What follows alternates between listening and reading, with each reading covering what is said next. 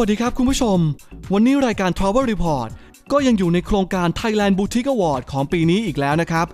ซึ่งในครั้งนี้เราก็ยังตะเวนดูโรงแรมบูติกสวยๆ เก๋ๆในหัวหินอีกเช่นเคยล่ะครับ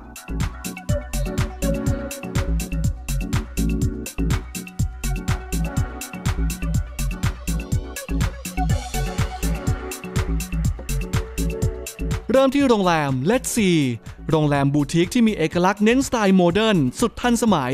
ผสมผสานกับสีสันที่สดใสทำให้ผู้เข้าพัก ได้สัมผัสกับการพักผ่อนอย่างมีสไตล์อย่างแท้จริงกันเลยทีเดียวล่ะครับ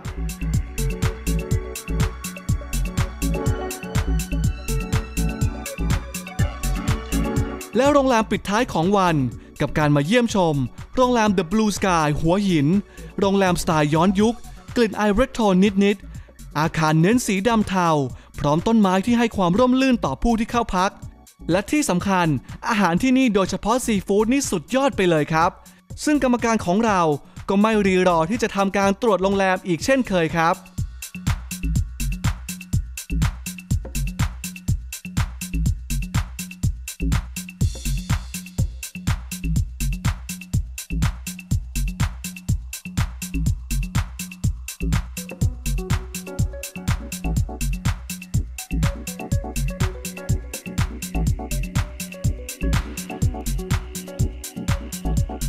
เป็นยังไงกันบ้างครับสำหรับการตามไปตรวจโรงแรมบูติกต่างๆ กับกรรมการสุด e x c l u s i v e ของเรา ในโครงการ Thailand Boutique Award แล้วพบกันกับ Travel Report ในครั้งหน้า ห้ามพลาดเลยละครับ